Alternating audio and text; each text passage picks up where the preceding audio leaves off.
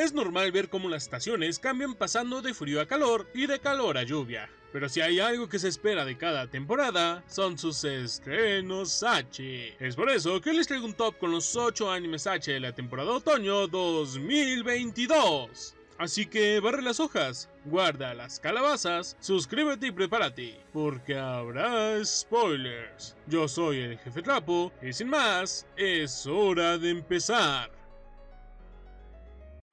この番組はご覧のスポンサーの提供でお送りします。Puesto número 8, Rauku Shinki Isis Magia, Panzer Saga Fear Ignition, de Animation. Artemisa es una heroína que va en busca del monstruo llamado Medusa para terminar con él. Sin embargo, al enfrentarse con dicho monstruo, descubre que el nivel de Medusa está muy por encima de ella. Es así como Artemisa se verá envuelta en una pelea que no podrá ganar. Al ver el número 3 en el título del anime, creí que tenía sagas anteriores, así que fui a buscarlo, pero no encontré nada. Si ustedes saben algo, les agradecería que lo dejaran en los comentarios. Y ya que están ahí, por favor, suscríbanse. Recalco lo anterior porque el anime no tiene ningún contexto. Literalmente, en cuanto inicia el anime, la waifu ya está peleando. En este punto, debo advertirles que Raikou Shinki es para un público muy específico, pues todas las peleas están llenas de bestialidad, monstruos y pulpos, los cuales, por lo menos a mí, no me emocionaron ni un poco. Sobre todo porque todo el tiempo las peleadoras están siendo sometidas a llaves de lucha y agarres de los que no pueden escapar. Por lo que en vez de batalla, sería más correcto decir que somos testigos de cómo masacran a las waifus por dos capítulos enteros. Definitivamente, este no es el tipo de anime que yo vería, y si lo hice fue solo para meterlo en el top por lo que probablemente mi opinión esté errada, ya que no dudo en que más de uno quedará encantado con el espectáculo que nos muestran, así que no estaría de más que lo vieras, aunque sea solo por curiosidad. Puesto número 7, Roshutsukei Mahou Yoshi Daisei Cristea. Touka es una chica de campo que se ha mudado a Tokio para empezar desde cero, sin que nadie sepa de su pasado pueblerino. El problema es que debido a su timidez le cuesta relacionarse con las personas, además de que guarda un gran secreto, el cual será revelado al mismo tiempo que su amiga Kokoha declara ser una chica mágica. La temporada de otoño trajo algunos animes bastante flojos para mi gusto. Este es uno de ellos. Pero vamos por partes. El anime trata de contar una historia absurda sobre la razón de que Touka se mudara, por qué su amiga es una chica mágica y los enemigos a los que se enfrentan. Esto no tendría nada de malo si no fuera porque se pasan más tiempo explicando que peleando. Algo malo si tomamos en cuenta que el episodio es de poco más de 15 minutos y las pláticas junto a las explicaciones consumen como mínimo la mitad del episodio. Además de que las batallas no son nada destacable. Digo, los enfrentamientos que aquí nos presentan los podríamos encontrar en cualquier otro anime y mejor desarrollados. Por si fuera poco, su animación es bastante normalita. Con esto me refiero a que, si bien no es mala, tampoco es buena. Está dentro de lo aceptable y no genera ninguna sensación, ya sea buena o mala. Lo único destacable serían sus waifus, pero es como vaciar un balde de agua a una casa en llamas. Aunque si tienes tiempo, probablemente deberías darle un vistazo. Puesto número 6, Kemonoko Tsushin de Animation, Nekomusume Nia. Últimamente ha corrido el rumor de un sitio web donde puedes encontrar a tu pareja ideal. Sin tener nada que perder, Nehishi se registra en la web, y después de completar su registro, una chica gato aparece en su habitación. Confundida, la chica exige ser regresada a su mundo, pero ya que ninguno de los dos sabe cómo hacerlo, decide quedarse con Negishi hasta que encuentre la forma de regresarla a su hogar. Voy a ser honesto con ustedes, estoy haciendo trampa en este puesto, ya que anteriormente se había estrenado una OVA que pertenece al mismo universo, pero como ambas son muy diferentes entre sí, decidí meterlo. Una vez aclarado ese punto, lo primero que debo decir es que este anime es muy divertido, y cada minuto del episodio es ocupado para hacer que las interacciones entre el prota y la chica gato se sientan más naturales, además de que cada tanto introducen momentos cómicos, los cuales, aunque no te hacen reír a carcajadas, por lo menos logran dibujarte una sonrisa en el rostro. Ahora, los combates son muy dinámicos, y aunque no hay muchos escenarios o vestuarios, estos son compensados con las técnicas de los peleadores, sus gritos de guerra y la atmósfera que crea la batalla. De modo que disfrutas bastante de cada encuentro y hasta te encariñas con los personajes, por lo que al menos deberías darle una oportunidad.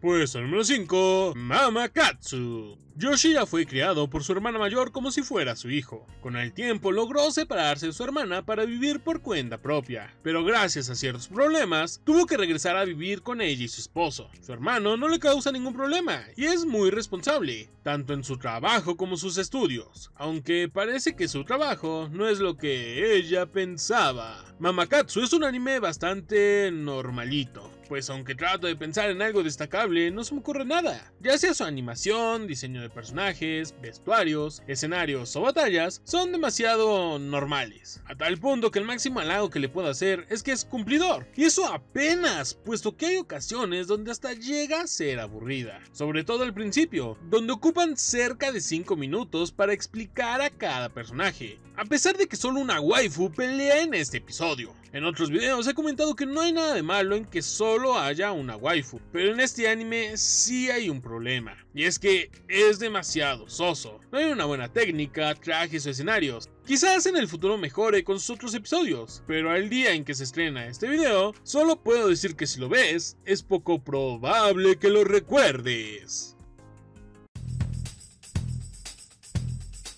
Puesto número 4. Isekai Kitano de Sukebeski de Senryoka Oka Shijou The Animation. Tatsuo no toma en cuenta lo peligrosa que era la técnica que practicaba, y gracias a eso perdió la vida. Sin embargo, cuando recupera la conciencia es recibido por una diosa, quien le explica que ha sido invocado a otro mundo como héroe, y le concede el poder que él quiera. Al escuchar el deseo de Tatsuo, ella se ríe, pero no se imaginaba lo temible que era su poder. Desde hace un tiempo, los Isekai están comenzando a sacar cosas cada vez más absurdas, convirtiendo a sus protagonistas en espadas o máquinas expendedoras pero lo que este prota hace es algo que logra hacerte reír, pues los poderes que pide no son algo convencional, e incluso logra derrotar al rey demonio con métodos poco convencionales, aunque gracias a él se derrama muy poca sangre. No puedo llamar a lo que hacen combates, ya que es una masacre por parte del prota, quien con su temible espada hace que hasta los más fuertes se arrodillen y pidan piedad. Pero con esto no digo que sean malas, sino que en la mayoría de encuentros será el prota quien dará el primer golpe, y aunque sus enemigos ataquen primero, no tardarán mucho en estar mordiendo la lona. Habiendo escuchado lo anterior, seguramente te habrás dado cuenta que todos los personajes involucrados son muy cómicos, y aunque sus expresiones, técnicas y vestuarios son los que uno esperaría de estos animes, también es cierto que por momentos se vuelven muy graciosos, por lo que al terminar quedarás muy satisfecho. Puesto número 3, Mesudachi The Animation. Takumi es el amigo de la infancia de una chica de familia adinerada que vive en su pueblo. Este pueblo tiene tan poca gente que estudiantes de primaria hasta bachiller conviven en el mismo lugar, y Takumi decide pasar sus días en su taller aunque es molestado por su amiga, quien no sabe cómo transmitirle sus sentimientos. Ya había hablado anteriormente de este anime en el video de los mejores animes H del 2022, junto con el puesto número 1 y 2, por lo que te dejaré ese video para que lo veas más tarde. Y trataré de ser breve en estos últimos puestos para no repetirme. Lo bueno de las peleas de Mesudachi recae en el hecho de que cada pelea tiene un diferente atuendo, escenario o vestuario, cada una muy disfrutable, y aunque la protagonista es la misma, gracias a lo dicho anteriormente no cae en lo monótono de tal forma que puedes elegir tu pelea favorita. Sin embargo, puede que algunos queden descontentos con su animación y lo corta que es su duración, por lo que serás tú quien tenga la última palabra. Puesto número 2, Boku no se Friend Gadeki Ryu. Nanashi es un chico que por diversas situaciones tuvo que comenzar a vivir solo. Ahora está en un lugar que no conoce y una escuela donde no tiene amigos. Pero todo eso vale la pena cuando ve la sonrisa de su hermosa vecina. Él está enamorado de ella, pero no se lo puede decir porque ella está casada. Sin embargo, pronto tendrá una oportunidad que no dejará escapar. Los combates que aquí nos presentan son geniales. Esto se debe a que van de menos a más, de tal forma que al inicio estarán midiendo el terreno, y con cada minuto tanto los golpes como las técnicas serán cada vez más apasionantes, a tal punto que sentirás como te hierve la sangre y no querrás ni parpadear. Anteriormente dicho es gracias a su animación, pero sobre todo a la gran química que tienen los peleadores, ya que en cuanto se suben al ring puedes sentir la gran compatibilidad que tienen, y el ambiente que crean hace que puedas disfrutar del espectáculo mucho más fácilmente. El único pero que le pongo son las expresiones de sus personajes, las cuales a momentos se vuelven extrañas y hasta llegan a causar gracia. Pero con eso, este es un anime que debes ver. Puesto número 1, Sukubu Yondara Jajaga Kita. Takashi está harto de jugar sin compañía, por lo que en internet encuentra un método para hacer amigos y tener con quien jugar. Mientras se encuentra solo, comienza a ejecutar el método que encontró, y para su sorpresa, dicha técnica funciona. Ahora que ha podido hacer un amigo, jamás se volverá a sentir solo, aunque esta persona le recuerda mucho a alguien que conoce muy bien. Esta temporada me dejó muy fácil la elección sobre el mejor anime, pues Sucubus Yondara es hermoso en todos sus aspectos, a tal punto que logras emocionarte cada que ves a la peleadora estrella haciendo su aparición. Y es que a pesar de que este anime tiene una sola waifu, esto no importa, gracias a los increíbles vestuarios y técnicas que muestra, cada uno mejor que el anterior. Y si a eso le agregamos su genial animación, el resultado es un anime que no puedes dejar de ver. El único punto malo que tiene es que al ser tan bueno y ser tan corto, no puedes evitar verlo una y otra vez.